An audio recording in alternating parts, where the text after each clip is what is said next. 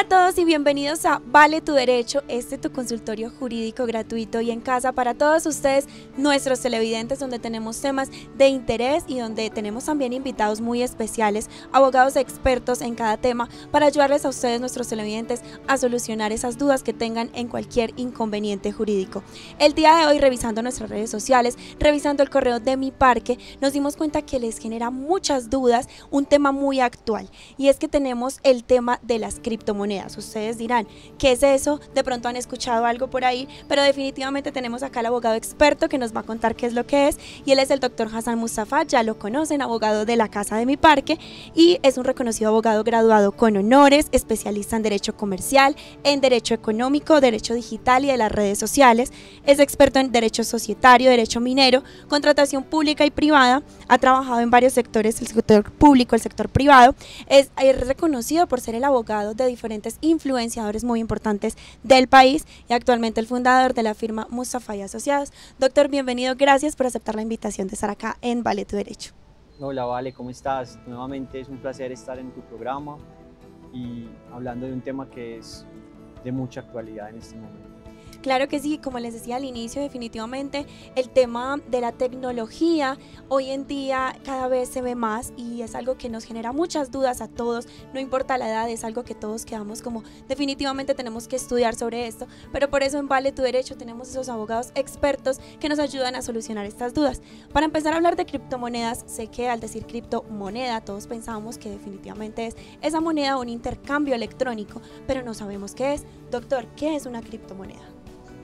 Bueno, es muy importante partir de la definición de los conceptos, porque estamos bombardeados en redes sociales y en internet de anuncios, de influencers, de personas que todo el tiempo nos hablan cripto, bitcoin, blockchain. Es una, son un montón de términos y, una jerga prácticamente nueva que, que, muchos desconocen y que veremos más adelante se presta para eh, engañar a la gente, estafarla.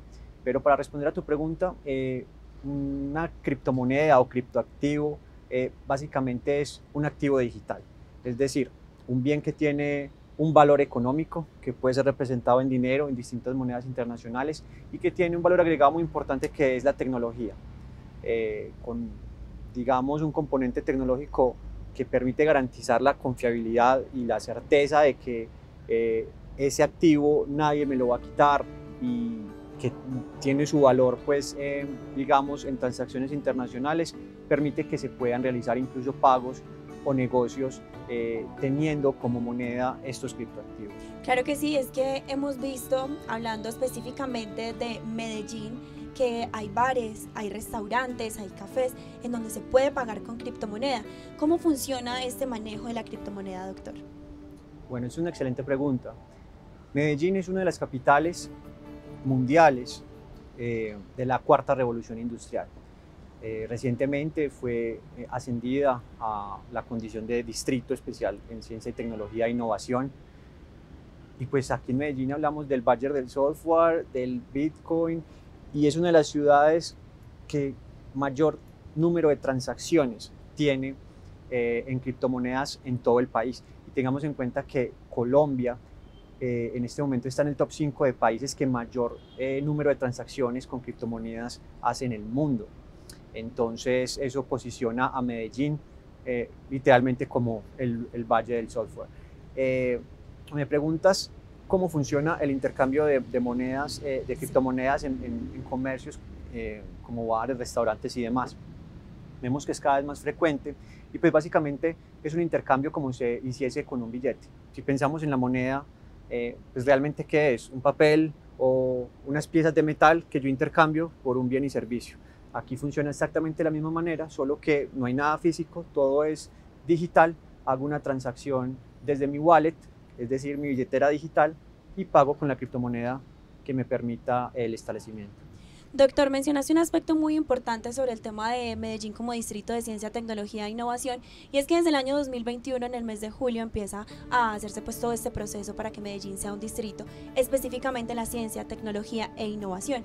Pero más o menos desde qué momento se empiezan a utilizar las criptomonedas como esa moneda donde podemos ir literalmente a cambiar eh, algún bien o servicio y a cambio entregamos algo electrónico, que no tenemos que tener en la mano como ese billete o esa moneda, eh, el el metal, sino algo electrónico. ¿Desde qué momento? ¿Y esto es legal? Bueno, son dos preguntas muy eh, profundas y eh, podríamos demorarnos mucho pues, en debatir, pero eh, haciéndolo simple, mm, la principal, la más famosa criptomoneda en el mundo es Bitcoin. Digamos que es la más famosa porque fue la primera y Bitcoin estamos hablando del 2008 en que empieza a implementarse superó rápidamente el valor de los mil dólares. Eh, el día eh, de hoy que estamos grabando este programa, eh, digamos, el precio del Bitcoin está aproximadamente en los 27 mil dólares. Entonces, desde que arrancó, rondando los mil hasta hoy, pues es una creciente significante. sin embargo, venimos de lo que se ha llamado el invierno cripto, y es que las, el Bitcoin sobre todo ha pegado un bajón impresionante. Pasó, llegó incluso a topes de 67 mil dólares, 320 millones de pesos, y hoy está eh, sobre los 27 mil. O sea que es preocupante, sobre todo para países como El Salvador, cuya moneda de uso corriente es el Bitcoin, que invirtieron recursos públicos en Bitcoin y que hoy, eh, digamos, ha perdido casi un 50% del valor con el que lo compraron inicialmente. Entonces, eh, digamos, sí, 2008 podría ser la fecha en la que establecemos que arranca todo este eh, mundo de las criptomonedas. ¿Y sobre el tema de la legalidad? Bueno, sobre la legalidad, eh, arranquemos en el mundo. Digamos que son el único país que se atrevió a legalizar al 100% las criptomonedas, específicamente el Bitcoin, incluso como moneda de curso legal, fue El Salvador los demás eh, países han tenido diferentes posiciones eh, porque es complicado. Lo regulo, no lo regulo, cómo regulo lo que no conozco. Eh, no hemos hablado de las características de las criptomonedas, pero una de las principales es precisamente que no hay nadie detrás de la cripto. No hay un particular detrás. No hay un particular, no hay bancos, es totalmente descentralizado. no existe una institución a la cual yo pueda reclamarle si algo sucede, pues en tema de criptomonedas. Entonces, digamos que ante esa situación, eh, el Estado o los estados en general se ven en la necesidad de pensar, bueno, regulo esto, ¿cómo lo hago? Y hablando de Colombia particularmente, eh, hoy podemos decir que las criptomonedas no son legales, pero tampoco son ilegales. Ok, ¿cómo es eso? Es una respuesta bastante ambigua, pero realmente significa que no tienen regulación. El Estado colombiano simplemente se limitó a decir, bancos no se metan con criptomonedas. Perfecto. Los bancos están regulados por, eh, o vigilados por la Superintendencia Financiera y la Superintendencia Financiera les dijo nada de criptomonedas. Pero los particulares, pues si están en su libre discreción de comprar o de comerciar con bitcoins, no me voy a meter. Si los estafan o si, o si pierden dinero en criptoactivos, ustedes asumen el riesgo. Básicamente se lavan Básicamente las manos. esa es la posición Pero entonces, ¿qué pasa, doctor, si tengo algún inconveniente legal con el tema de las criptomonedas? Si me estafan con el tema de criptomonedas, ¿dónde puedo acudir? Bueno, como lo mencioné, al no haber una regulación específica sobre el tema eh, de las criptomonedas, digamos que es el riesgo del particular quien asume, digamos, eh, sí, la posición de si invierte o no en este tipo de monedas, porque como cualquier tipo de divisa, invertir en este tipo de activos que son tan volátiles puede ser peligroso. Por eso, eh, pues la recomendación más importante es a que mm, se asesoren muy bien y conozcan muy bien lo que están haciendo, eh, porque es un activo complejo y hoy en día existen muchísimas eh, criptomonedas. Arrancamos con Bitcoin, pero ya son miles las monedas que circulan y los criptoactivos que circulan. Entonces, hay que tener mucho cuidado la Superintendencia de Industria y Comercio, específicamente que regula o que, que es la entidad que protege al consumidor, eh, pues ha tratado de dar vagamente algunos lineamientos sobre el tema y realmente eh, se puede establecer que si un exchange, un exchange es la plataforma en donde yo puedo intercambiar bitcoins, eh, que está legalmente constituido en Colombia, comete algún tipo de ilegalidades o de, o de, fraudes con este tipo de situaciones, pues tendrá que responder bajo las normas del Estatuto del Consumidor. Y si ya el tema trasciende, podemos hablar de asuntos penales, ¿cierto? Están los delitos de estafa, eh, delitos, eh, digamos, que van en contra del patrimonio económico y que también podrían estar inmersos en esa situación. Claro que sí, doctor. Al hablar de que claramente la ley debe acomodarse pues a las situaciones actuales pues de cada, eh, de cada sector, si estábamos diciendo que en Medellín las criptomonedas se ven muy presentes porque pues bares, restaurantes, cafés, vemos que se puede el, pago con criptomonedas, ¿es legal que yo vaya a un lugar y solo acepten pago con criptomoneda? Pues si es un lugar privado, entre los particulares ponemos las condiciones eh, en las cuales yo voy a brindar mi bien y servicio. Si yo abro un establecimiento y digo que solamente me pueden pagar con gallinas, okay. pues tendrás que conseguir gallinas para comprar mi establecimiento. Seguramente me quebraré, pero, claro, es pero es la libre eh, atribución de las partes. Eh, el ejemplo un poco tonto, pero realmente funciona de esa manera. Si quieres comprar mi establecimiento, solo puedes usar criptos, entonces eh, debes hacerlo. Distinto es a cuando voy a utilizar el, eh, las criptomonedas como medio de pago eh, para situaciones que sí están reguladas por eh, el ordenamiento jurídico, como puede ser una relación laboral. Perfecto. Entonces, eh, Entonces, un empresario que le vaya a pagar a sus trabajadores con criptomonedas no es posible, no es legal. Esa, Valeria, es la pregunta del millón, porque como no tenemos una norma a, de que, a la cual podamos acudir para responder a esa pregunta, va a depender de la interpretación eh, del operador jurídico eh, desde mi posición. Pienso que sí es posible hacer pagos con criptomonedas, pero ¿en qué sentido? Pagos laborales, pero ¿en qué sentido? El Código Sustantivo del Trabajo dice que se tiene que hacer el pago del salario eh, en moneda corriente colombiana. La moneda corriente colombiana es el peso sí. colombiano, ¿cierto? Eso está claro, pero también establece que entre el trabajador y el empleador se pueden establecer, eh, digamos, las condiciones de la remuneración. En ese sentido, podría existir una manera en que yo remunere con criptomonedas, pero siempre y cuando yo pueda garantizarle al trabajador que al momento en que le realizo el pago, ese pago en criptomonedas puede ser intercambiado inmediatamente por pesos colombianos. Ok, entonces queda muy claro. Y también debe haber un previo acuerdo con el trabajador sobre este pago. Perfecto, doctor. Hablamos de un tema muy importante y es que El Salvador es este primer país que tiene el Bitcoin, que como bien lo mencionó el doctor, es una de las criptomonedas, porque no es solo una, hay muchas.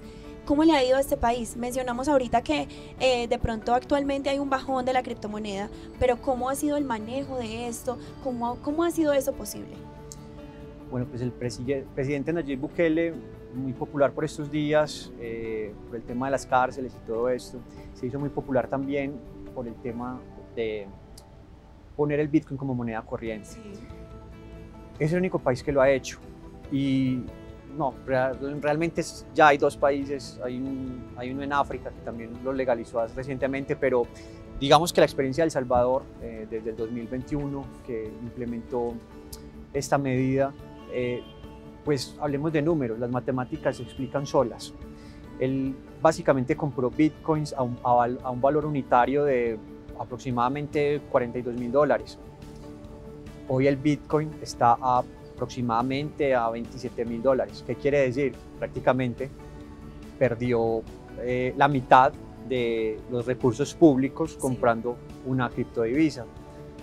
Hay aproximadamente, porque esa es otra cosa, se supone que lo público tendría que ser de conocimiento de todos y en El Salvador no es muy claro y no hay mucha transparencia respecto a cómo fueron esos procesos de compra de, de los bitcoins y demás, pero eh, el presidente Bukele eh, ha dejado entrever que son aproximadamente 111 millones de dólares de recursos públicos que invirtió en bitcoins.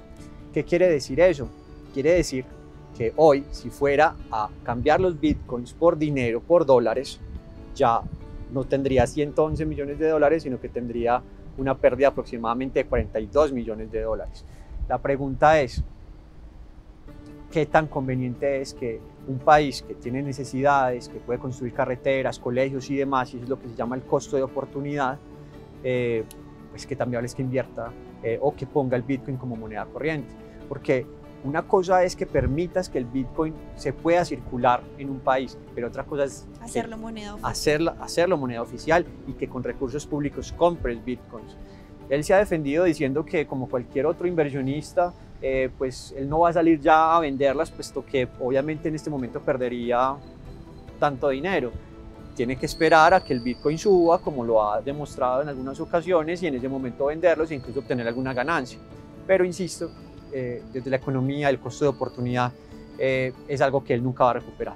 Porque esos 11 millones de dólares que hoy perdió, podrían estarlos invirtiendo hoy en colegios, en carreteras, en servicios públicos. Entonces, es bastante polémico, es bastante cuestionable, pero realmente eh, es algo que se tiene que analizar con mucho cuidado.